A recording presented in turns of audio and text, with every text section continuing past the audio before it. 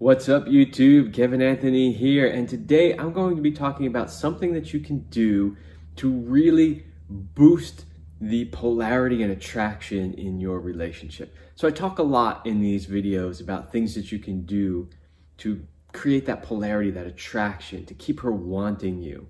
And today's tip is to take a calculated risk. What do I mean by that? Guys in relationships tend to do this, especially if it's a relationship that they really like the other person and they really want to keep. They want to play it safe most of the time. They don't want to do anything that could potentially, you know, make her not like him or, you know, maybe have a reaction of some sort.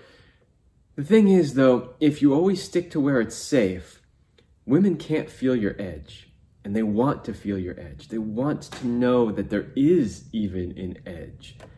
So, one of the best ways to do that is to occasionally take some calculated risks. That risk could be hey, I'm going to try something new in the bedroom.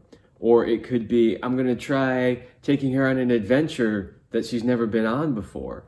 There's lots of different ways that you could take some calculated risks. Now, I say calculated risks, meaning you've thought it through you have determined that it is probably a good idea.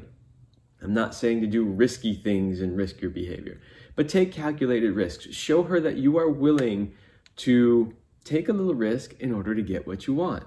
And if you do that, she's going to be instantly more attracted to you. So that's today's tip. Make sure that you take some calculated risks.